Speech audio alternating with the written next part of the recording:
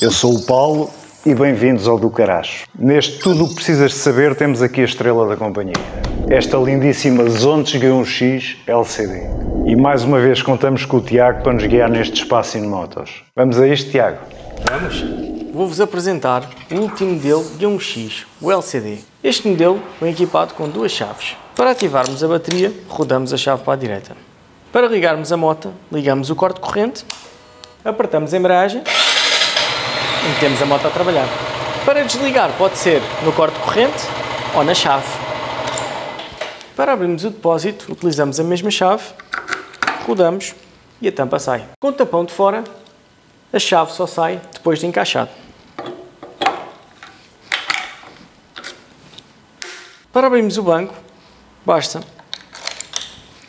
rodar a chave para o lado esquerdo. Aqui podemos encontrar a bateria da moto e as ferramentas. Para trancar a direção, basta rodar a direção para o lado esquerdo, pressionar para baixo e rodar a chave na sua totalidade.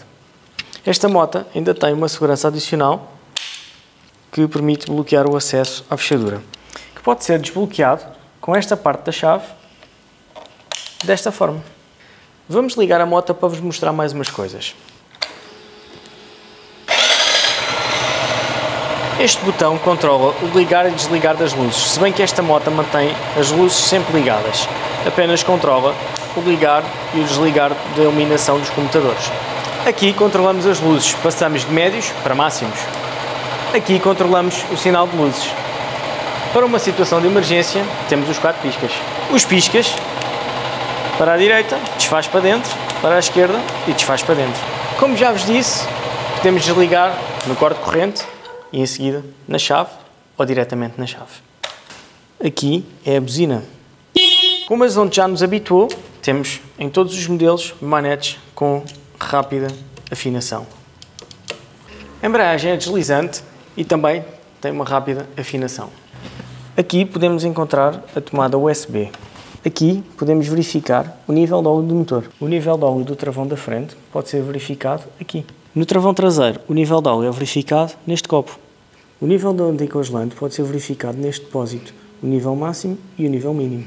Aqui temos várias informações do veículo, como os quilómetros totais, autonomia, o consumo, combustível, os quilómetros que faltam para a revisão, pressão do pneu da frente, traseiro e novamente o odômetro. Aqui podemos verificar a velocidade, o combustível, a temperatura do motor, as rotações do motor e a mudança que está engrenada. E aqui, as horas. A rodagem desta moto, os primeiros 500 km terão que ser feitos com uma rotação moderada. E convém irem trocando muito a caixa. A primeira revisão deste modelo é aos 1000 km, as seguintes são de 4 em 4 mil. Não se esqueçam de lubrificar a corrente 500 em 500 km e de verificar a tensão da mesma. Qualquer questão que tenham, depois de adquirir a moto, estamos cá para ajudar. Foi mais um espaço em motos, aqui no Tudo o que Precisas de Saber. Não se esqueçam, subscrevam o canal, ativem o sininho, aquelas coisas que a gente costuma dizer e sejam felizes, porque, porque isto é do caracho.